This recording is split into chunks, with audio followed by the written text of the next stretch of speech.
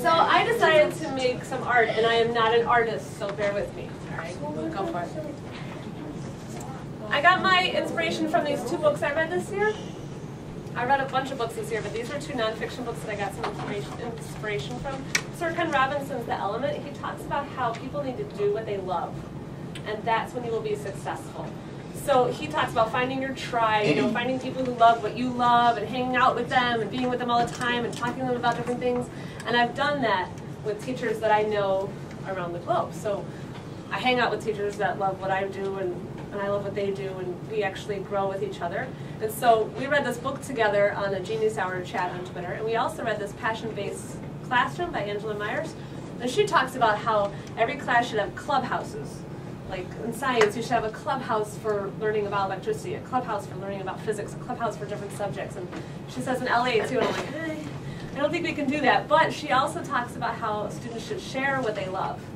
So next year when we do Genius Hour, I hope that we build in some time for kids to share what they're doing along the way and not just share with me. Because it's nice that you guys share with me. I get to hear it, but then you don't get to hear it from everybody else. So these were inspirational for me, and I thought, what the heck am I going to do with these? But my cousin Robert was over on the week. My cousin, my nephew Robert was over on the weekend, and he saw my Pinterest account. And he's like, "What's this?" And he saw crayon art, melting crayon art, and I thought, well, we could do that if you want, because we had him over for a Christmas present a little late. So we started brainstorming ideas, and his was up here. And I don't remember what he said, but he wanted me to stick the the crayon right in the glue gun. I'm like, I'm not doing that. And so we looked at different designs, and we brainstormed what we were going to do. And then we went shopping. We went and bought some dollar store crayons from Dollar Tree or whatever. And we bought a tablecloth to cover up the table because I didn't want to get nasty. And then we went to Michael's and we bought canvases. And I should have bought, um, I should have brought the coupons. You know how they have Michael's coupons all the time? Because it was $20. I could have saved $8. That's one thing I learned. Go for it. but another thing I learned was that those dollar store crayons, they don't melt. Like you can you can heat them up as much as you want and they stay solid. I don't know what they're made out of, but they don't melt. So we had to spend more money on Crayolas. Um, we bought the Crayola ones and you can see here we tried it on this little piece of cardboard my husband made and The the hair dryer was melting the spray paint on the cardboard, but it wasn't melting the the crayon. So if you want to melt some crayons, you're gonna have to use Crayola. This one is without the paper on it.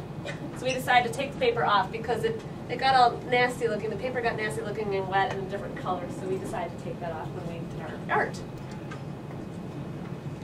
Um, we bought seven canvases because we each wanted to make two, and it was a package of seven instead of four. Um, but we kept learning, and it's good we did buy some more canvases just in case we needed to. But this was Robert's design. He put "Be Happy" in the middle, and he put a little crooked circle around it, and then he put his crayons out here. And he didn't care that they were broken. He's like, "Just put them on, just put them on." So we hot glued them on. Um, one of the next lessons I learned was don't glue the crayon, glue the canvas, because you start gluing the crayon and it will just melt right away. So put the glue on the canvas and stick it on, and then it falls off. When I glued it on the crayon, it fell off and it rolled around and it already made purple spots on this paper. Um, these were the issues I saw when we started doing Roberts the glue got all conglomerate, not the glue, the wax got all conglomerated over his happy.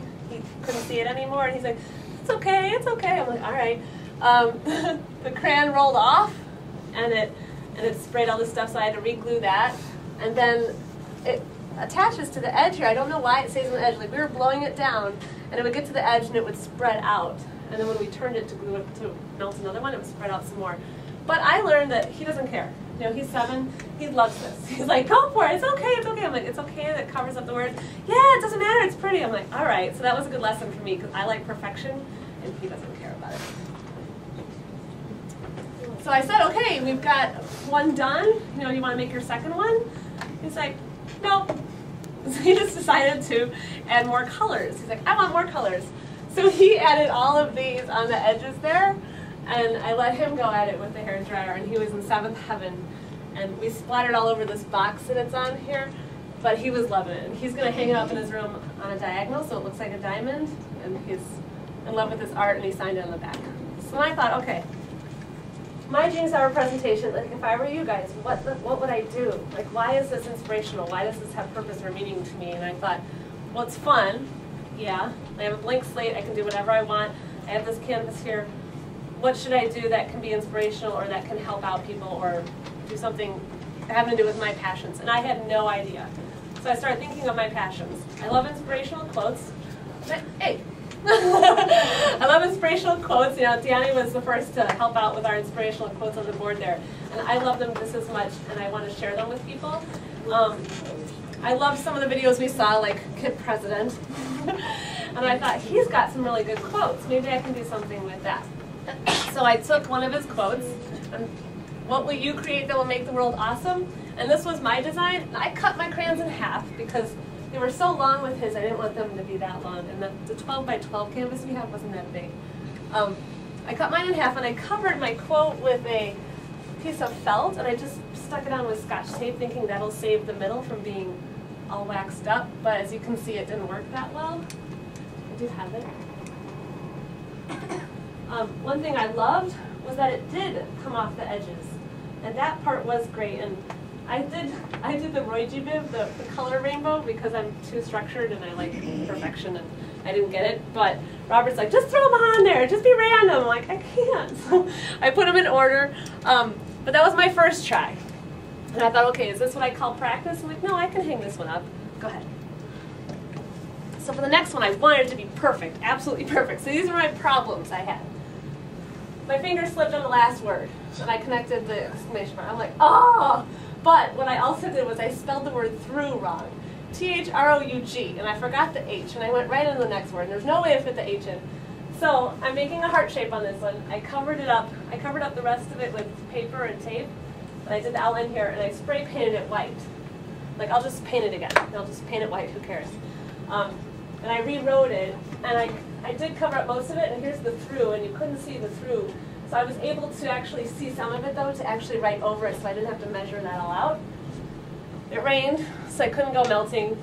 And then when I did melt it, um, we made an extra thing, Mr. Kirr made an extra piece for the hair dryer because I throw out all my extensions in my hair dryer. Made an extra piece to focus the heat better, and it sort of worked better that way. But it was still really messy. Go ahead.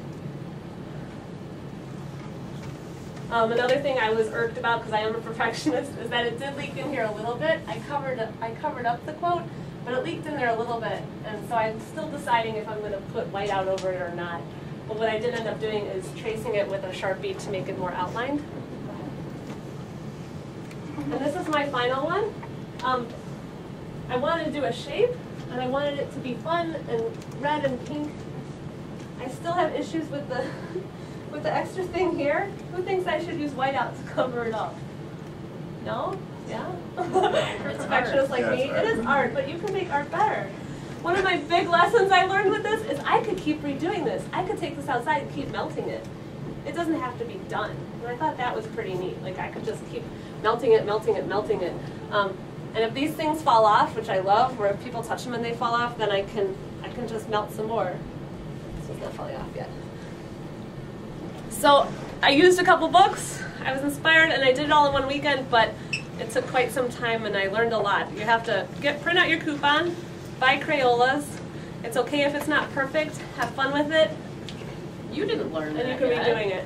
You're getting there. It's okay if it's not perfect, right? It's, it's hard. okay. It's okay. So, I'm gonna hang that up. Any questions? Questions?